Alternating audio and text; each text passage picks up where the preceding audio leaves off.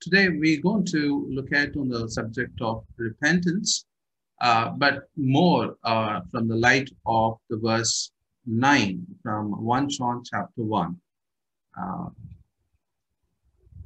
so this is the verse which we're going to meditate. If we confess our sins, is faithful and just to forgive us our sins and to purify us from all unrighteousness.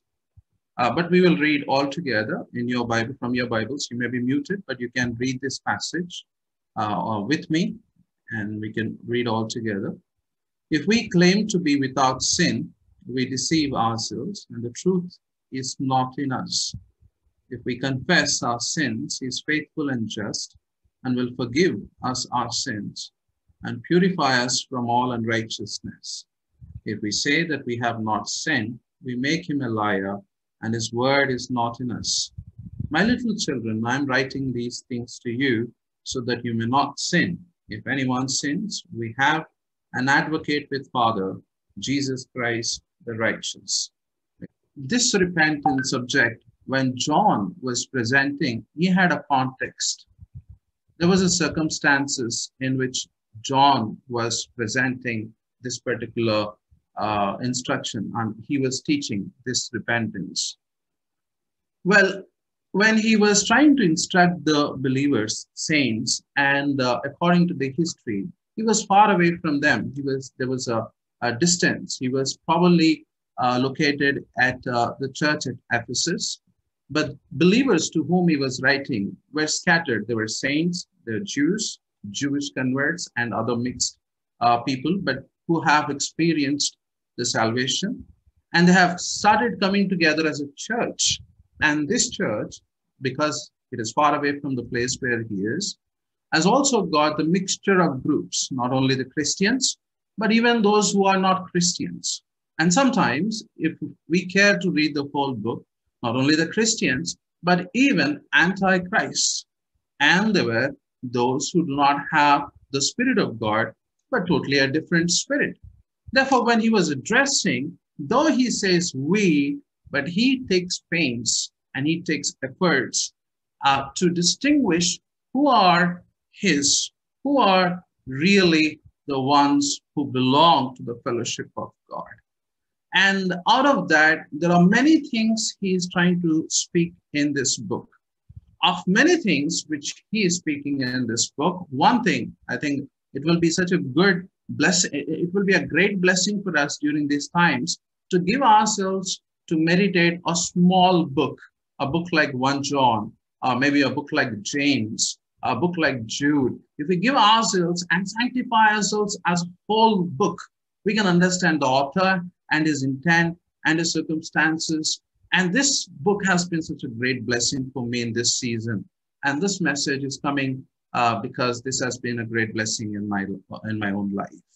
And one other thing which he did, and it's such an encouragement for me as a pastor, is this: he is trying to alert his saints, alert people who are in the fellowship of the Antichrist are the people who deny the divinity of Christ, who deny the gospel of Christ.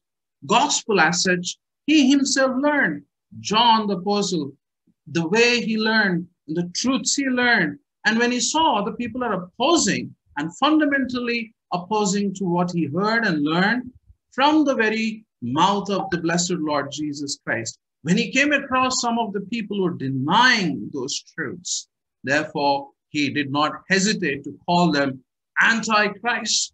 They are not the followers of Christ. They are enemies of the Christ. And he goes so much so, tells that they were for some time fellowshipping with you. Now, this is something is very interesting. Why it is very interesting? If it happened in the very first century, there is every possibility that it can happen after 2000 years after the church has been established. And he says at one point, there are many antichrists have come. If there was a possibility in the first century for many enemies of Christ, many enemy, many enemies of the gospel can pop up, can appear, they can make their presence in the church. It will be foolishness to think for us as pastors and much more as a church to think that there are not many now. And especially when we are surrounded by so many channels, so many YouTubes, so many pastors, especially when we are placed in a place like South India, when there are so many denominations, so many churches. John 1, 1 John becomes our rescue. That's a rescue boat which will deliver us from the storms which a Christian can face. Therefore, I welcome you, encourage you to enter into this first book, know this first book, by heart this uh, first book, learn, uh, completely uh, internalize this first book of John so that you may save your own soul. But not only that, if we care for our family members, if we care for our fellow believers in the church, it's very important to internalize this book in our lives. Anyway, coming back to this, there's another category of the people he's trying to picture uh, to the saints is another category of the people who have made their way into the church are liars. They are liars. They are not Christians. They do not have the Holy Spirit of God. They do not have gospel in their hearts. They have gospel on their lips, they have gospel in their tongue, but they do not have gospel in their hearts. And it takes all the pains to teach them, to instruct them. Who are such people? What is their characteristic? And that is the another pain which it takes to tell the people, to tell the saints. In the fellowship when you gather, you must be mindful of the Antichrist, people who have false spirit, and at the same time, people who are liars. When I say liars, not I do not mean the Christians lying. Liars, when I say liars, they are not believers because he used the word liar to term or to distinguish the people who are not believers. So liars are those who do not have a truth or the gospel in, in them. Liars are those who do not have the Holy Spirit in them but they have complete proper confession of any Christian, any proper Christian. Their language is Christian-like. Their confession, their, uh, their, their many professions are Christian-like. They preach Christian-like, but their heart does not have the gospel and truth. They are the liars. And it's quite a, uh, quite a task for every one of us to distinguish a person who's professing to be a Christian to look into his heart, to understand from his heart whether he's Christian or not. To that, he gives us a help. He helps us to know how can we know somebody who is true from the heart, true Christian from the heart. And when he does this, he also gives beautifully certain doctrines which helps us not only to check others, but to begin with us to check ourselves. Maybe by chance, I may be just the confessor, uh, confessing Christian, but not the true Christian within. And therefore, it is for me. Let me introspect.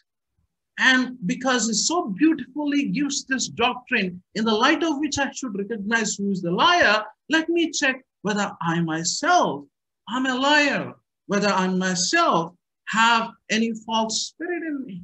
And that is what we're going to do today. We may be very quick to say so and so person, but let's start with us. Let us introspect. It is a, uh, you know, we know this is famous saying, today is the day of salvation. But the people who are born again, it's nothing wrong to confirm today is a day of assurance of salvation. We can keep assuring our own salvation in the sense whether we are in the very warmth and in the light of God. Anyway, coming back to this point, what is he trying to say? This one point in verse 9, uh, which will help us to see how am I doing spiritually, at the same time to see who is the liar and who is not the liar, who is the true Christian and who's not the true Christian. And here comes, he says, if we confess our sins. I would rather put that as repentance because in the context of it, when we look at confess here, a better word to render or to give a proper meaning and this is confess here means repentance. Because definitely, John, I don't think is trying to say if we are only confessing with our lip and we are not repenting of our sins, he will be foolish to say the God who is a righteous and just. He knows our hearts, whether we are having a mere confession of the lips or whether there's a true repentance of our heart. When in this verse, when he says, if we confess our sins, our God is a righteous and just. He's a righteous God. He knows whether your confession is true repentance or it's just the mere confession of it or mere saying of it. But here the point and idea is repentance.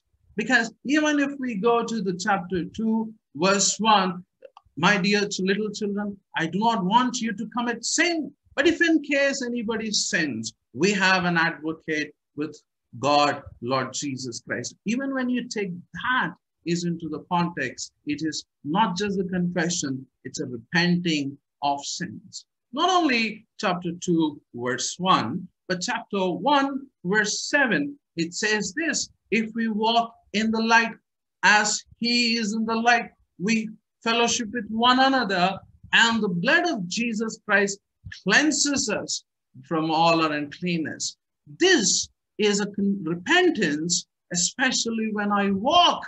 I walk and the God continue to reveal the sin in me. I repent over the sin. So the better word to use an, an idea which John was saying, repentance. Now coming back to, uh, let me sum it up uh, of what all I have said now. This is important and he says, repentance is a true mark of a Christian. Repentance will help us to see where do we stand in our spiritual life. Repentance will also help us to distinguish who are the true believers and who are not the believers who are liars. Now, having said, having established this point, repentance, now I come to very interesting part and this is applicable for pastors. And I see if we confess our sins. I really like the term that John was using. If you look at when John, when he's writing the first chapter, he says, if we say that we fellowship with God and walk in darkness, he is identifying himself with other people. There we see the very posture of John his posture is like a true, genuine minister. He does not want to make all the people uncomfortable. And when especially is trying to emphasize a truth like repentance, he's identifying with others and he's saying, we confess. He's saying, even I am included in this. If we confess. And that's one point which we should really appreciate. John, especially in the chapter one, he does make a demarcation when he's addressing specific people. In the chapter one, he tries to identify the people, though he may not have committed any sin, but he's identifying, he's humbling himself. We see the similar uh, gesture uh, even from the Daniel, when Daniel was interceding for Israelites. When he realizes 70, year, uh, 70 years of captivity has come to an end, he says, Lord, we have sinned. There's humbleness we see from the John. And the second thing is why is he doing? Is his ministry is to preach repentance. I would rather put this way ministry of the word in a simplified language, in one sense, is a ministry of preaching repentance. We preach repentance only through which the person is born again. Once the person is born again, we preach repentance because through the repentance, one is cleansed, one is sanctified. In other sense, a pastor is given very inconvenient and a difficult job of preaching repentance. And we do see that, uh, and uh, Paul uh, uh stating that uh, you know, in Second Corinthians chapter 7, uh, he says, he begins to say, my letter must have caused you to sorrow. You know, you, my letter must have caused you to sorrow. And at one, in one sense, I think it will be very nice if we can read that. I'll share that screen with you. Just a moment.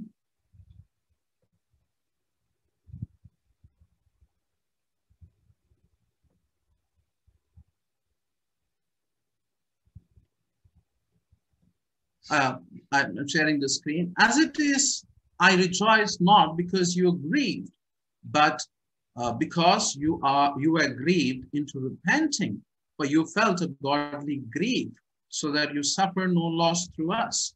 For godly grief produces repentance that leads to salvation without regret, whereas worldly grief produces death.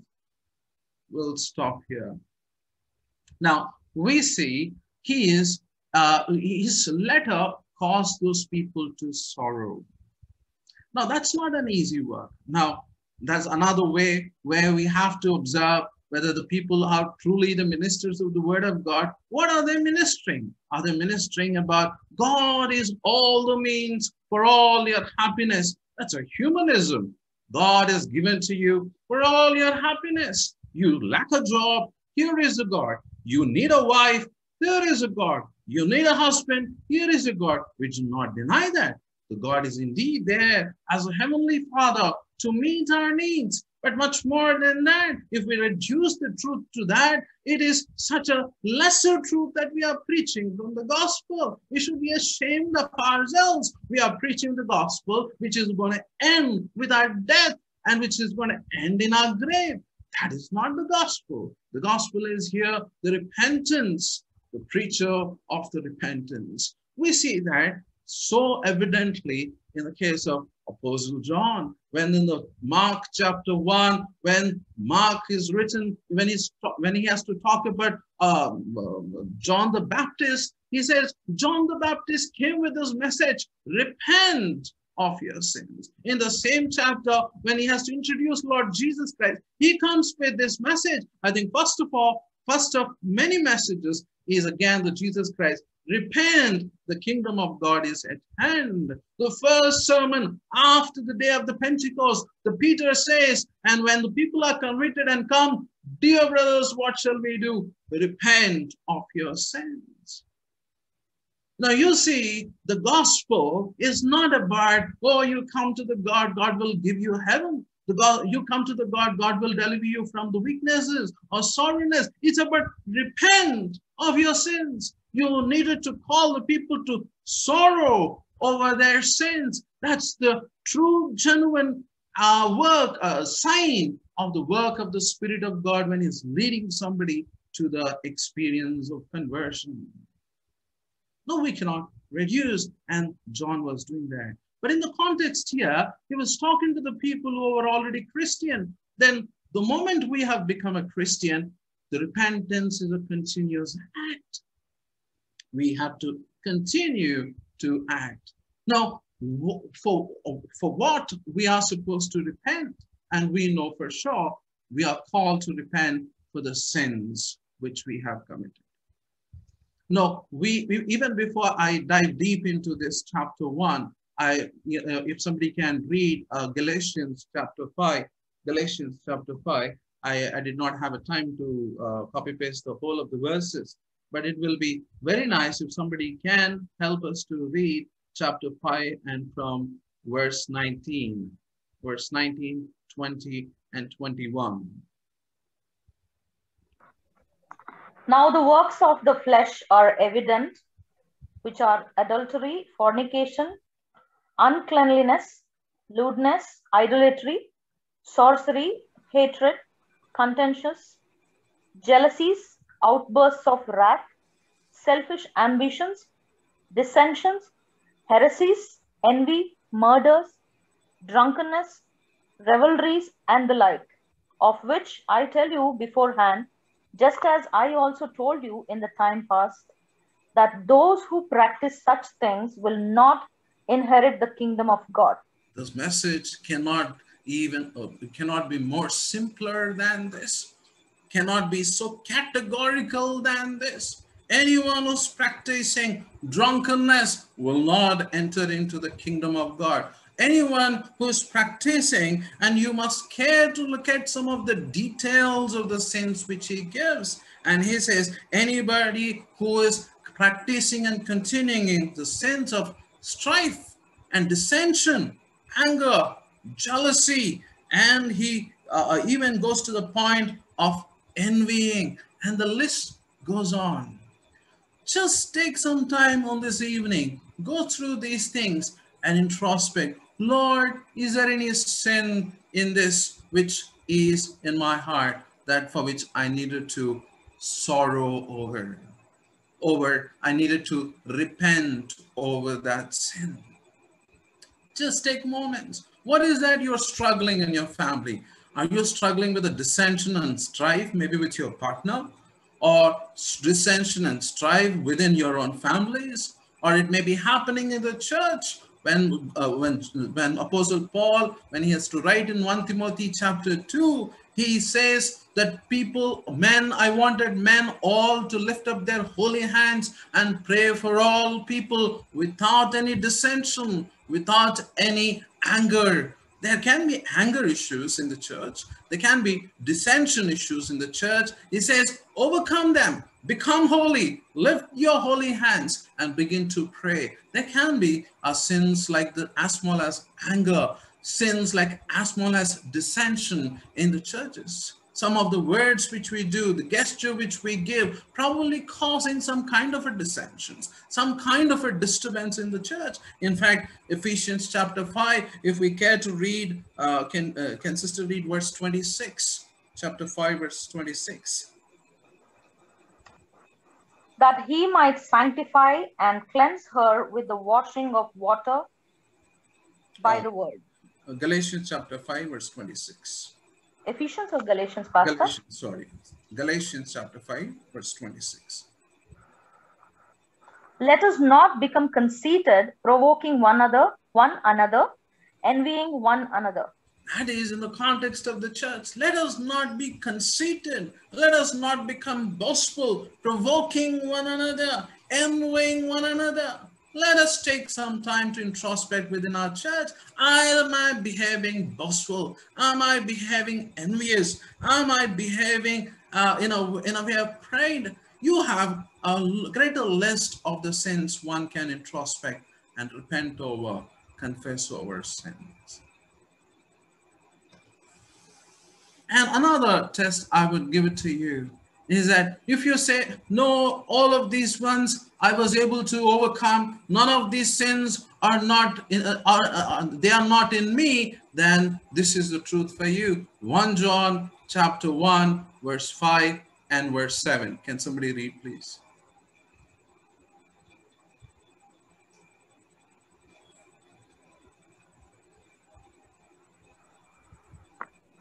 1 John 1 and 5, right, sir? 5. This is the message which, which we have heard from him and declare to you that God is light and in him is no darkness at all. And verse 7. But if we walk in the light as he is in the light, we have fellowship with Oh, one another. Verse 6 also. 5 and then 6. If we say that we have fellowship with him and walk in darkness, we lie and do not practice the truth. But if if you say, oh, brother, this list of five, they are very primitive. I have overcome them, and none of those sins are in me. I've just, I've got no uh, such kind of a sins in me. Then I have challenge for you. Verse 5 of 1 John chapter 1. As God is holy, if I should walk in him, what's the holiness of God?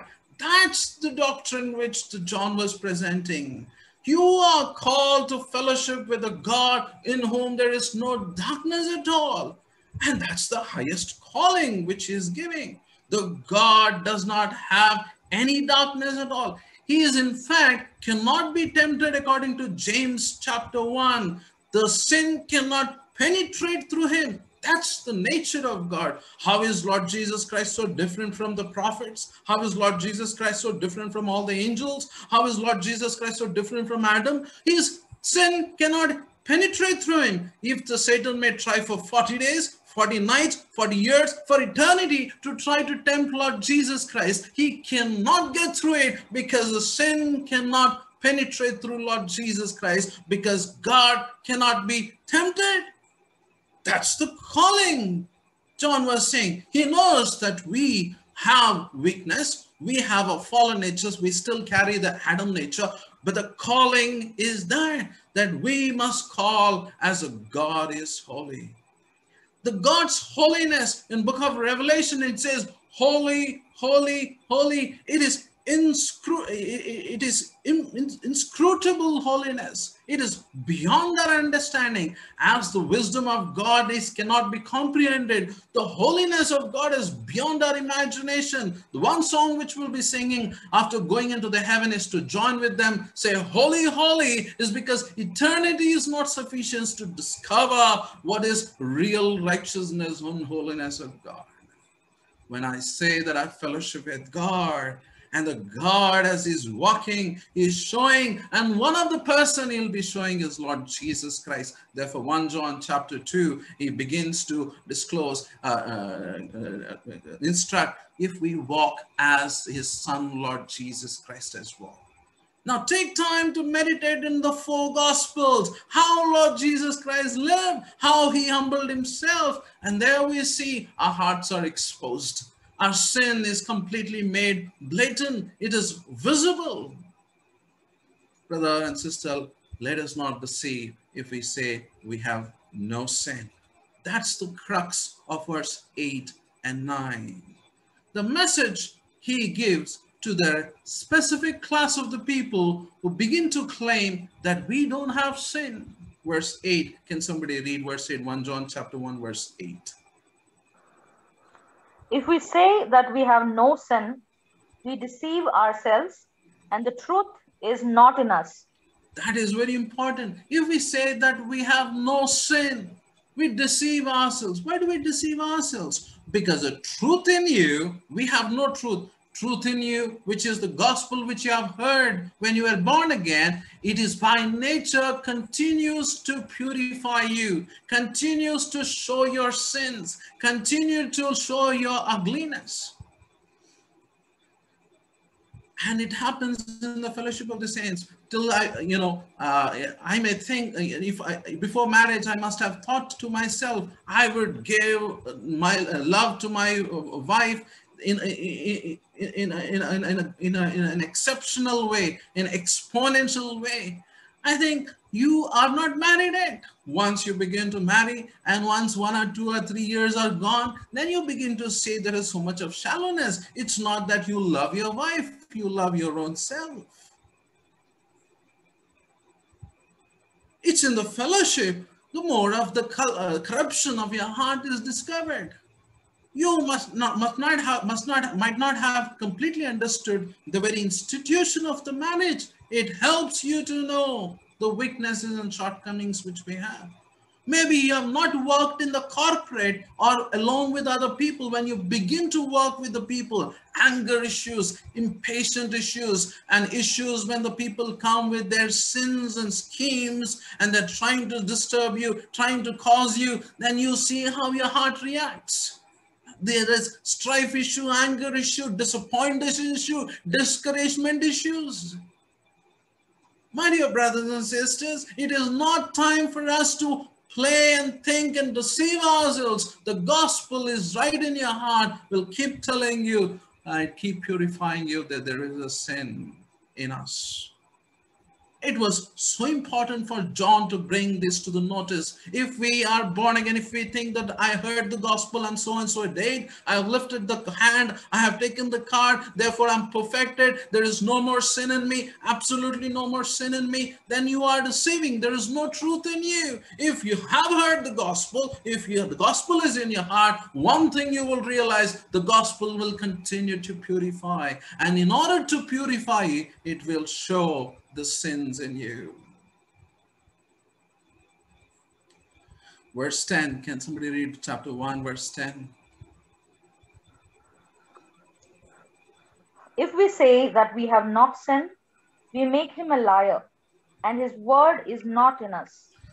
We make God a liar. The biggest sin which you will be connect, committing today is by saying that I have no sin, because the sin which is charged to you is that you're making God a liar. You see, my dear brothers and sisters, God does not take a joy in showing you the sins. His job as a father, the very epistle starts uh, with uh, addressing God as our Father. We have entered into the fellowship of our Father. Father entered with us in fellowship along with His Son, Lord Jesus Christ. It all happened when I heard the gospel with this triune God, with this Godhead. When I fellowship with Him, He takes the pains to show the sin, not to condemn you, but to purify you. That's job He has taken on Himself. It is not a, a big truth. As a parents, we do that with our children day in, day out because that's a responsibility to purify my son, to perfect my son, to discipline my son. And that's the whole story in book of Hebrews chapter 7 when the Hebrew is saying you are legitimate children. Therefore God disciplines you. If he doesn't discipline you, then you are not his child. You're illegitimate. That's the language the author of the Hebrew uses. God has taken upon himself to discipline, to sanctify you. Don't make God a liar. It's just a matter of the time how you introspect Go to book of Galatians and see the list of the sins. If that is not sufficient, go to the life of Jesus Christ, scan through the gospels and know him in and out, how he behaved and conducted himself. If that is not sufficient, go to the God, know the God, God, God God's nature and characteristics. That's the step one. That's the beginning point as to how I can be a holy you know the young people keep coming and say how can i be holy? There are many solutions we can give many instruction we can give but one of the thing which i we should need to instruct or encourage those people know your god. That very truth is sanctifying truth more I know about my God, more I know about his glorious nature, more I know about his spotless nature, that it, uh, that it happens, the sanctification happens because the Spirit of God jumps in the joy as the knowledge of the God it enters into you. It begins to apply your heart, begins to apply in your life, transforms your life. Don't say that you have no sin And when we see the sin, we are called to repent of our sins. If we confess our sin, and then the rest of the words is just worth gold and jewels. Why? It says, God is faithful and just. You see, the God will act out of his nature is a father, is a righteous, he's true to his word. You, you know to confess there is no sin that he cannot forgive. And that's how the verse ends. All our sins, all our unrighteous. Can somebody take pains to read oh. chapter 1, verse 7, the last part, and chapter 9, the last part?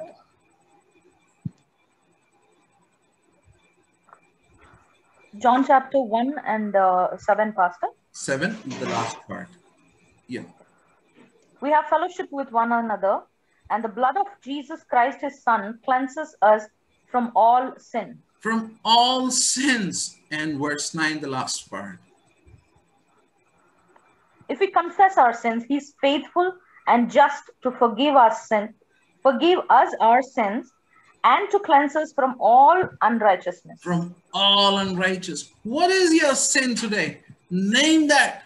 You may can name that if that is a sin as as heinous, as loathful as a sin of David. a sin of adultery, the Lord is willing to forgive. It may be as heinous and how, grave sin as murder, as a David has committed. The Lord is willing to forgive. Whatever may be the sin, uh, how many number of the sins you may have committed. But if you come to the Lord with a true repentance, He is true to His promise, He will forgive your sins.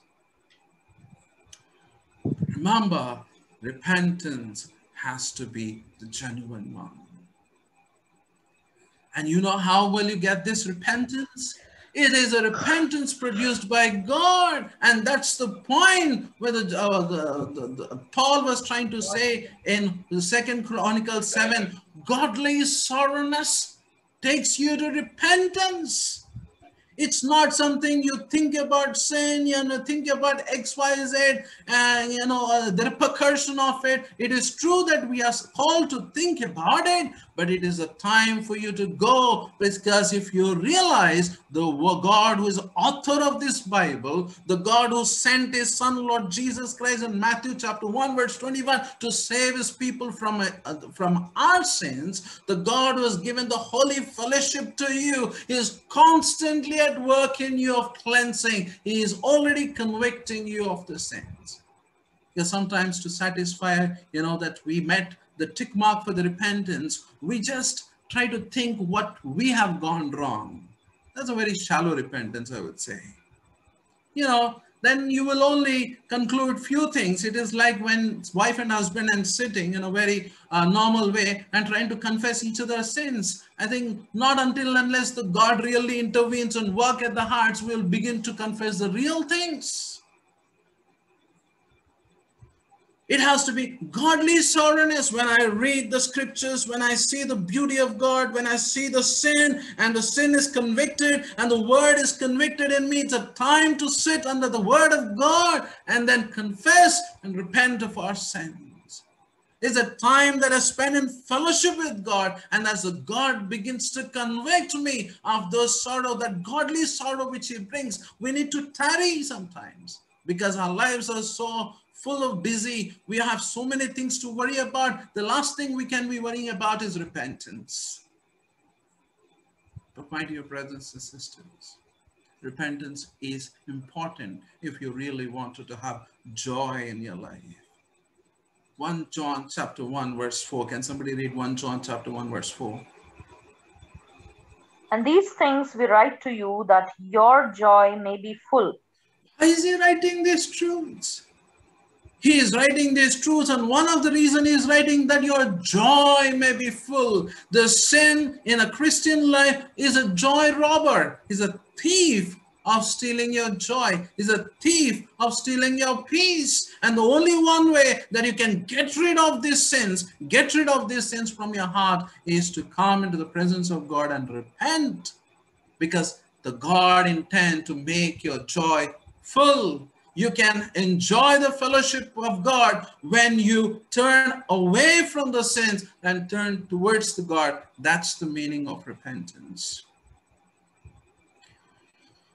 The last, and then we will close in. The first point, which I wanted to make you remember, is that John was taking pains to tell repentance is a true characteristic of a Christian. For us, and also to see in other people's life. And it is a ministry of the minister. It's a difficult job. We there may not be really a joy. We keep telling about the sins. We keep charging you about the sins, and the, and uh, and Paul knows it. And he says sometimes it really causes a sorrow. Sometimes I feel it's such an easy job to become a prosperity gospel um, preacher, prosperity gospel preacher. It is such an easy job to become a humanism pastor. I can build a million dollar church. Well, I can give a competition to Tirupati as well, because that's the place people go to become rich. And I can say, here is a God better than the one who is sitting on the seven hills. Well, there is a better logic there to present. But my dear brothers and sisters, we are called to minister the sorrowness of God through the word, through the gospel, because that is a gateway for a joy to be complete in your lives. God is a just and faithful. Now, another trouble we have with repentance is people are not faithful. If we confess our sins, they are really harsh. They are not kind. They spread the word. They take the word. They will completely defame you, completely make a caricature of your character. But God is faithful. You go to Him, whatever may be the sins you have committed, He is faithful and His Heavenly Father. And that is what He has to say in chapter 2, verse 1 My little children. That's the love. I don't want any one of you to commit sin. I don't want you to be in sin. That's the indifference I'm taking to write this whole book of John. I don't want you to be a sin. But by any chance, if you have committed a sin, come to God. We have an advocate with Father who is this advocate this evening? This is a message for you. Whatever may be our sins are after you have discovered and the God sorrowness is completely gripping your heart, look to God. And on the right side of the God, there's an advocate. And the word used for him is paraklito, which is who is a helper who comes along with us. We got a helper in heaven with God, and he's still doing the ministry. He's a high priestly ministry with the God in a better position, the God in a better state, in a glorified state, in an ascended state. God Himself being the God is become an advocate for you, only to see that you do not commit sin, only to intercede that you may have sins forgiven. How can we deny that love? How can we deny that plan of God? How can we reject that love of God? If you're a son, the first person you have to run to, he has provided the righteous advocate. If he sees the repentance is true. He's not advocate like we have an advocate. When you committed a sin and he knows the sin then he becomes your advocate. No he advocates for the person who's a true repenter. We got a righteous advocate. And look at the life of jesus christ for you to be delivered from the power of the sin. He has come into this world to save you from the sins, to deliver you from the power of the sins. He died on the cross to deliver you and make you free from the ritual traditions and all the law. He has crucified on the cross of Calvary. He was buried and he was resurrected so that you may be completely free from the power of the sin or the authority of the sin. That's the better way to put it. But now he ascended, but he has not stopped. He's interceding for you that in case if you have committed a sin, that you may still stand pure and perfect in the presence of God, for he made the propitiation for all our sins in verse 2 of chapter 2 of 1 John. My dear brothers and sisters, what stops us to grow in repentance? What is hindering us to acknowledge our sins. What is really stopping us to acknowledge our sin before our partner, before our children? They may be harsh, they may be kind, but remember, your Father is faithful and just to forgive you our sins. He won't stop there. He will cleanse you. He will help you to overcome their sins. If you learn to grow in repentance, in fact, you began to overcome the sins. You are overcomer of the sins. One of the way the Christian is overcomer of the sin, he has learned to repent over his sins. So let's take this time. Let's take a resolution. Lord, I want to be a repenter every time the sorrowness over the sin begins to connect, uh, convict my heart.